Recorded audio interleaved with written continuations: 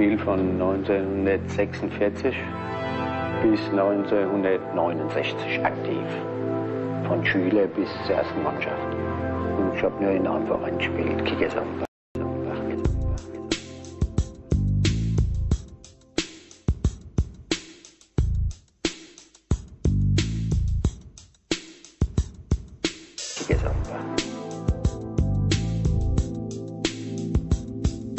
Zusammenspiel zwischen Held und Nuba.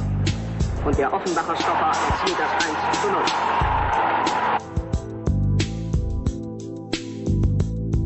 Locker, locker, ohne Ellbogen. Immer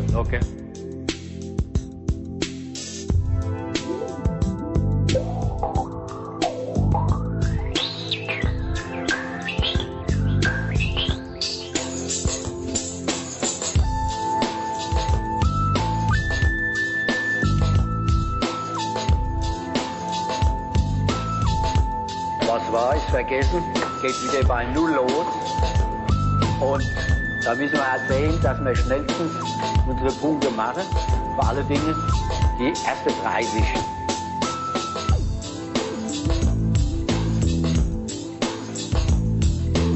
Hopp. Hopp. Hopp. Und der nächste, der springt. Hopp. Hopp. Hopp.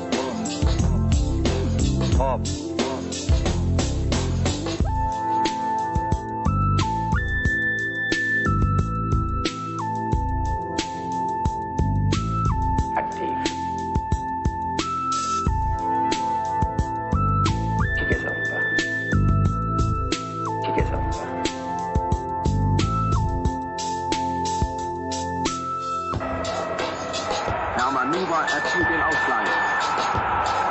Und womit niemand mehr gerechnet hat, geschieht zehn Sekunden vor dem Abpfiff. Die Vorentscheidung zugunsten der Kickers ist gefallen.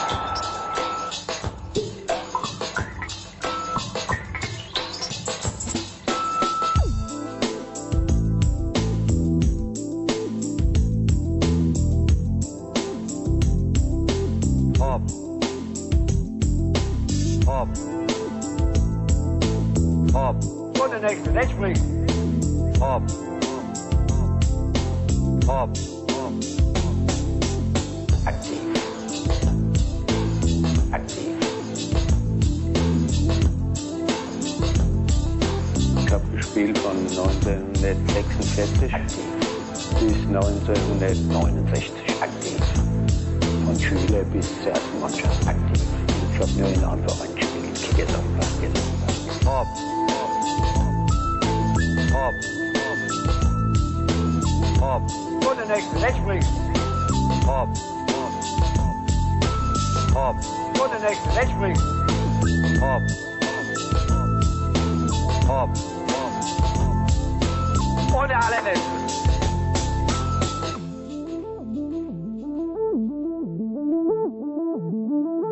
Und auf Wiedersehen. Bis Donnerstag, 8.30 Uhr.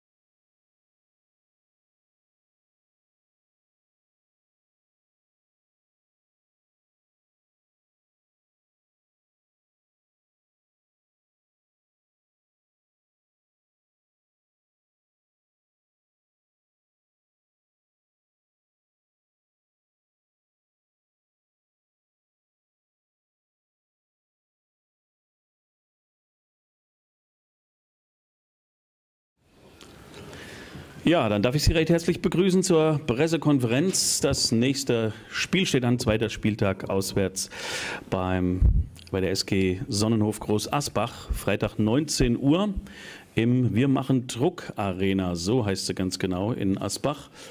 Ja, und da wollen wir natürlich äh, sehen, dass wir da ein paar Punkte holen und das werden wir gleich hier besprechen mit unseren Gästen. Zum einen habe ich den frischen, frisch gebackenen Kapitän hier, Stefan Flauder, hallo. Hallo. Und den Cheftrainer, Angelo Balletta. Fangen wir vielleicht mit dem Capitano an. Ähm, ja, das erste Spiel, war das ungefähr so, wie du es dir vorgestellt hast? Ich glaube, ein paar Tore auf der anderen Seite hätten dir auch gut gefallen.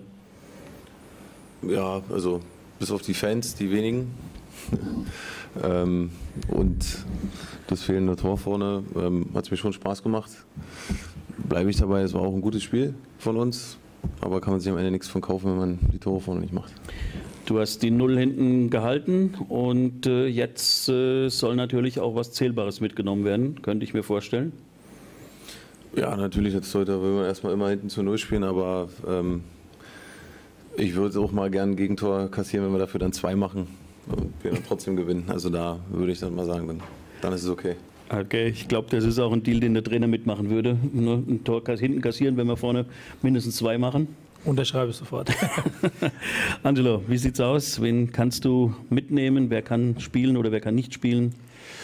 Ähm, zuerst sind wir in der glücklichen Lage, bis auf Marco Fritscher, der da jetzt sogar etwas länger an seinem Bluterguss laboriert. Er, es hat sich dann über seinen Bluterguss dann nochmal eine Einblutung äh, ist da, äh, ist da, passiert und man, wir wissen bis jetzt immer noch nicht, wie es passiert ist, sodass er dann ähm, das Ganze operativ entfernen musste. Ja. Und äh, dementsprechend wird er jetzt auch eine etwas längere äh, Zeit ausfallen. Und äh, sonst aber sind alle dabei. Der Flo Boya macht äh, sehr gute Fortschritte, Fortschritte, sodass wir sogar stark überlegen, ihn auch dazu zu holen. Und der, beim Fetschi merkt man schon, dass er dann absolut in Vollbesitz seiner Kräften ist. Ja, das wäre jetzt meine nächste Frage gewesen. Da hast du so ein vorweihnachtliches Geschenk schon bekommen. Also nochmal im Sturm nachgelegt. Was macht er für einen Eindruck? Ja, also das, das äh, wir haben herausgeholt aus der vierten Woche, vierten Vorbereitungswoche und ähm, also ich denke mal, das ist ja fast das Ende der Vorbereitungszeit. Mhm. Dementsprechend klar, wir wollen jetzt nicht alles auf ihn jetzt verschreien und das ist unser Heilbringer, sondern wir, er braucht auch die Zeit, um die ganzen, auch wenn er auch, auch wenn er schon mal jetzt mal beim UFC war, muss ja auch die Mannschaft neu kennenlernen, unsere Philosophie und das Ganze.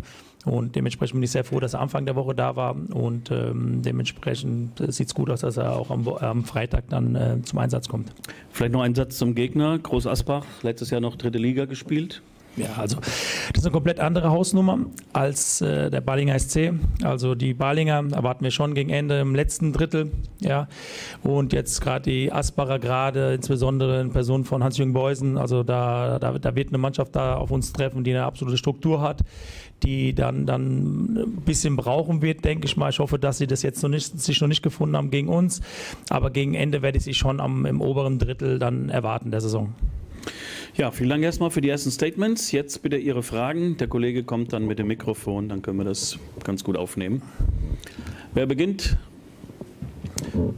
Jörg Moll, Offenbach Post. Ja, sehr gerne. Ähm, Frage an dich, Angelo. Ähm, Matthias Fetsch, du hast es eben angedeutet, ähm, vierte Vorbereitungswoche in, in Halle gewesen. Ähm, was, ist es tatsächlich dann sofort, dass er in die Startelf äh, rücken kann oder hast du da noch äh, sozusagen, scheust du da vielleicht sogar ein Risiko, dass du den nächsten äh, Ausfall sonst produzieren würdest? Nein, also also ausfallen wird er jetzt definitiv, äh, definitiv nicht. Jetzt von der Muskulatur her, also vier Wochen ist schon ein Stück Vorbereitung. Und da werde ich natürlich im Austausch sein mit dem Fetschi und er wird mir natürlich auch signalisieren, ob er sich überhaupt für 90 Minuten fit fühlt. Da lasse ich ihn natürlich ganz stark da zu Wort kommen.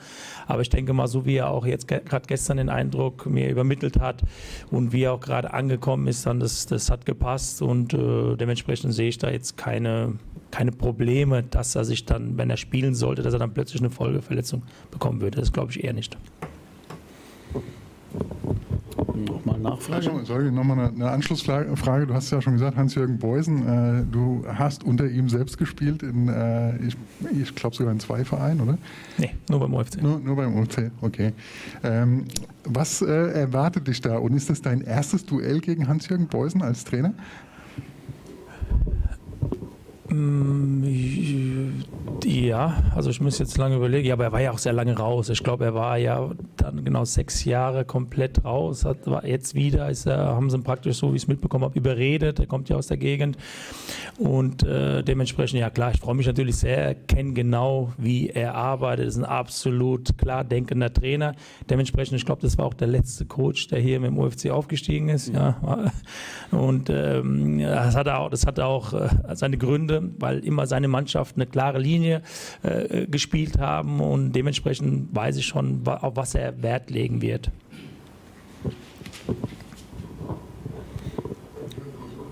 Nando? Ja, bitte. Ähm, hallo zusammen erstmal. Stefan Flauder. Ähm, erstmal willkommen hier in Offenbach. Ich war letzte Woche leider nicht da. Ähm, für mich einfach nur äh, eine kurze Frage an dich persönlich. Äh, was hast du für einen Eindruck jetzt ähm, in dieser kurzen oder relativ kurzen Zeit, die du doch hier bist, ähm, ja, generell von dem Verein und von dem ganzen Drumherum? Ja, einen sehr guten. Ähm, ich hatte es ja schon mal gesagt, als ich hergekommen bin, ähm, die Voraussetzungen ähm, laden natürlich ein, um hier gut arbeiten zu können, aber bleibt auch dabei, wenn man die Voraussetzungen hat, ähm, sollte man sie auch nutzen. Ja, und ähm, teilweise sollte man dann vielleicht auch aufpassen, dass dann nicht, man denkt, dass man dann schon irgendwas erreicht hat oder irgendwo angekommen ist, weil es dann vielleicht auch ähm, nicht zu der Liga passt. Allerdings ähm, bleibe ich auch dabei, hat es auch irgendwo Gründe, warum man leider noch da ist, wo man ist. Und so vom Umfeld, ja, man merkt schon, dass ähm, die Leute wollen, dass ähm, die Stadt hier vor allen Dingen sicherlich schon ähm, den Erfolg will.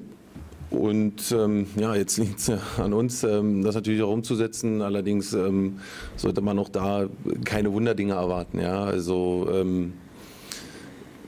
da können Sie mir glauben, also wir geben unser Bestes, auch wenn es mal vielleicht nicht klappt, wie jetzt am Wochenende mit dem Sieg. Aber ich glaube, da kann uns keiner absprechen, dass wir es nicht wollten.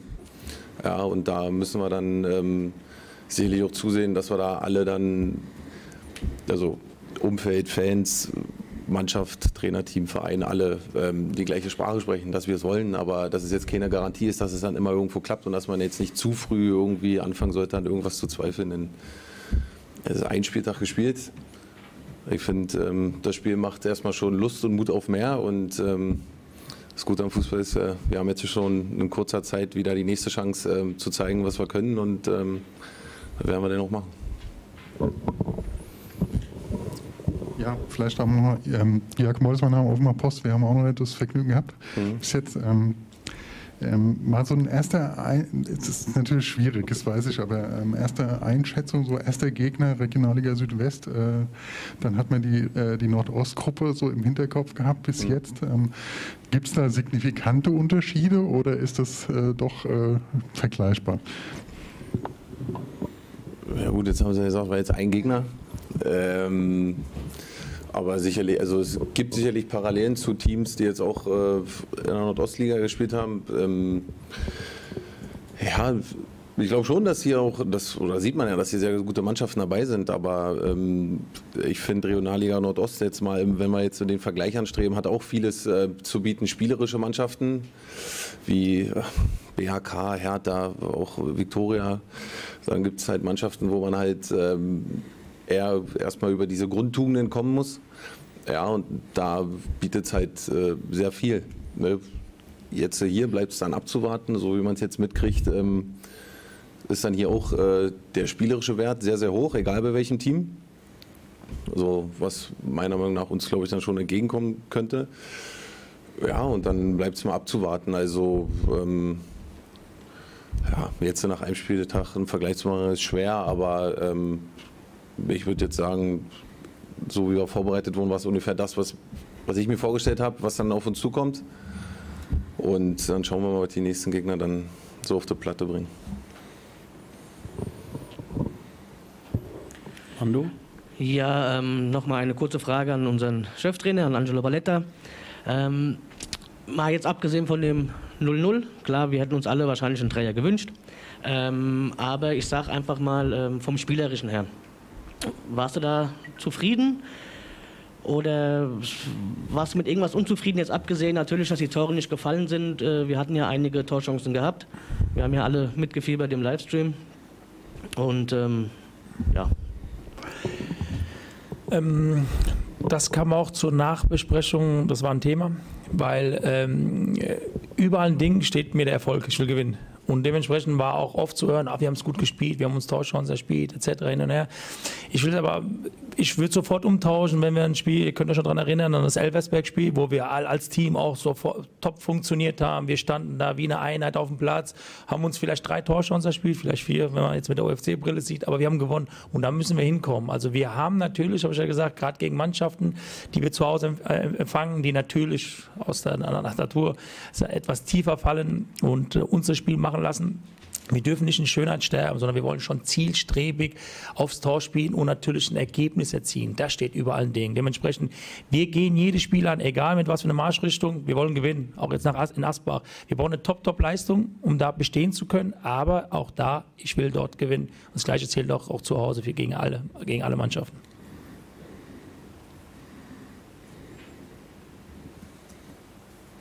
Gibt es weitere Fragen? Jörg? Ja. Nochmal, Stefan Flauder, nochmal eine Frage. Ähm, Kapitän, Neuzugang, Kapitän, äh, ähm, nat natürlich dann auch Stammkeeper sozusagen. Äh, das ist ja schon äh, ein, erstmal ein ungewöhnlicher, ähm, ungewöhnlich, ungewöhnlicher Werdegang sozusagen. Man kommt aus einer völlig anderen Liga, kommt zu einem neuen Club äh, und ist dann sofort Kapitän. Wie ist so der erste Eindruck sozusagen? Wie ist dies, äh, diese, diese Rolle sozusagen? Wie wird diese Rolle anerkannt von den Teamkollegen? Ähm, ja, vielleicht mal einfach mal so, so einen Einblick geben, wie das, äh, ja, wie du diese, Sie diese Rolle sehen. Ja, sicherlich gab es da, was Sie jetzt ansprechen, hier und da auch mal einen kleinen spaßigen Spruch, ähm, wenn man neu ist und dann zum Kapitän gewählt wird. Aber oh, ich habe es mit Freude angenommen, habe mich ähm, jetzt so gefreut, dass das ähm, so entschieden wurde. Und bin aber auch der Meinung, dass dann vielleicht daraus resultiert, dass ich jetzt nicht unbedingt in der Vorbereitung die Kapitänsbinde brauchte, um dann irgendwie versucht zu Führung zu übernehmen. Ja? Und ähm, sicherlich auch vielen Jungspielern was mit an die Hand zu geben und ähm, die Jungs dann auf gewisse Dinge darauf hinzuweisen. Ja? Und ja, wie gesagt, mich freut es, dass es jetzt so gekommen ist. Ähm, Finde es jetzt auch nicht irgendwie als, als Last oder irgendwas, wäre wär noch schöner. Ja? von daher, wie gesagt, ich freue mich darauf jetzt die nächsten Spiele auch weiter so angehen zu können. Und ähm, ja, bin glücklich, bin extrem glücklich hier zu sein, dass es auch alles ähm, so gut passt. Besser, ich muss sogar sagen, besser als ich mir vorgestellt hätte. So mit den, wie es jetzt gelaufen ist in den Wochen, so kann es jetzt weitergehen. Wenn wir jetzt dann noch zusätzlich gewinnen, ist natürlich noch besser. Ähm, aber ansonsten, ja, ähm, gehe ich jetzt mal davon aus, so wie jetzt äh, die Reaktion kam, dass damit alle ähm, ja, dass das dann so okay ist. Ja. Muss man als Kapitän irgendwas Besonderes machen? Äh, manche müssen, Neuzugänge müssen am zu singen. Äh, müssen Sie dann irgendwie noch was Besonderes äh, machen?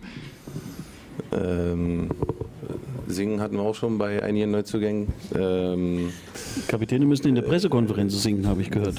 Ja, das, das will ich jetzt den Leuten nicht antun. Also es ist schlimm genug, wenn die anderen dazu hören müssen. Ähm, nee, bei zugegebener Zeit werde ich da sicherlich auch nochmal ähm, einen ausgeben. Ähm, aber jetzt gucken wir erstmal, wenn wir zwei Spiele so knapp hintereinander haben. Ähm, zugegebenen Zeitpunkt dann, wenn es passt, dann werde ich da auch nochmal einen ausgeben, ja klar. Noch eine Frage bitte an äh, Angelo. Ähm, einfach nochmal zu der Kadergröße. Aufgrund auch dessen, dass wir ja 42 Spieltage haben, jetzt nur noch 41. Ähm, meinst du nicht von der Qualität, aber ich sage jetzt einfach ähm, ja, von der Anzahl der Spieler, ähm, ob das langt für die komplette Saison? Also du meinst, wir, wir hätten zu wenige Spieler? Nein, um Gottes Willen. Also zu viele Spieler hätten wir. Grund Achso, einfach grundsätzlich. Ja, es ist jetzt eine, eine, außergewöhnliche Saison, also wo wir jetzt natürlich in kürzerer Zeit mehrere Spiele absolvieren. Plus noch natürlich der Hessenpokal kommt dazu, also sind ja mehr als 42 hoffentlich.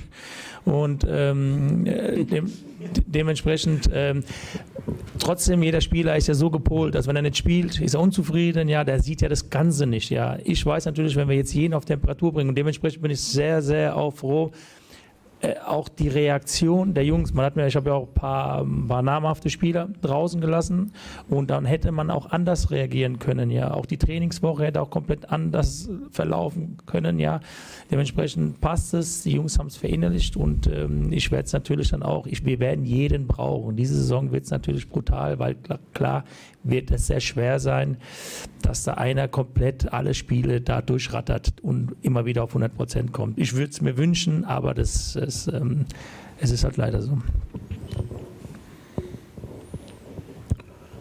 Es wird noch geschrieben. Warten wir noch? Jörg, hast du noch was? Ja. Gerne. Natürlich. Richtung Kader natürlich auch an dich, Angelo, nochmal die Frage. Ähm, Rotation jetzt schon? Ist das ein Thema? Äh, größere Änderungen oder ähm, quasi tatsächlich dann erst mit Blick auf ein Spiel wie äh, unter der Woche jetzt in Pirmasens dann? Äh, ja, wir wollen natürlich schon auf den Gegner, ich habe es ja schon da vor der PK schon mal gesagt, dass wir natürlich viele unterschiedliche Spieler haben, die die Position anders interpretieren, ja. Und dementsprechend hat es jetzt gegen den Ballinger SC so gepasst, aber jetzt da, jetzt gerade in der Früh der Saison alles wieder kreuz und quer, alles durchzuwechseln, die Flügel durchzuwechseln, die Achter, die, der Zehner und ähm, bin ich auch kein Riesenfreund von, ja. Natürlich wollen wir natürlich stark auf den Gegner drauf eingehen, wo wir sagen, okay, das und das passt, wenn, wenn er natürlich etwas tiefer steht, ja, da brauchen wir natürlich Spieler, die natürlich dann, äh, wie wieder Tuma gerade gegen, gegen Ballinger da aus dem Nichts haben, man eine Chance kreieren kann, ja. Und ähm, aber dass wir jetzt da Woche für Woche immer wieder drei, vier neue sehen, das ist, glaube ich, bei mir nicht der Fall, nein. Wolfgang?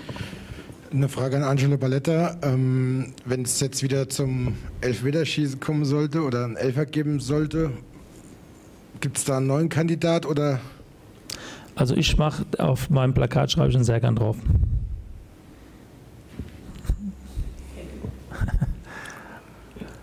Sind wir durch oder gibt es noch Fragen? Scheint alles beantwortet zu sein. Dann will ich nochmal sagen, dass es auch diesmal wieder einen Video-Livestream geben wird. Das wird Groß Asbach selbst machen. Also Sie haben also im doppelten Sinne Heimrecht. Auch hier gilt es ja wie im Sportlichen. Kann der, die Heimmannschaft eben den Video-Livestream machen. Dorfclub TV heißt das Ganze dort. Und wir werden das auch bei uns auf der Seite nochmal einstellen. Wer es möchte, kann das einschalten für 5 Euro. Ähnlich wie bei uns, ganz ähnlich. Ähm, und mit dem Fanradio verrate ich ein kleines Geheimnis, sind wir ganz bestimmt ein klein bisschen schneller. Das heißt, man kann im Idealfall schneller unser Tor hören, als man es sehen kann. Also das heißt, Bild schauen und Ton hören im OFC Fanradio. Soweit erstmal. Jetzt wünschen wir unseren Jungs ganz, ganz viel Erfolg dann eben in Groß Asbach. Dankeschön.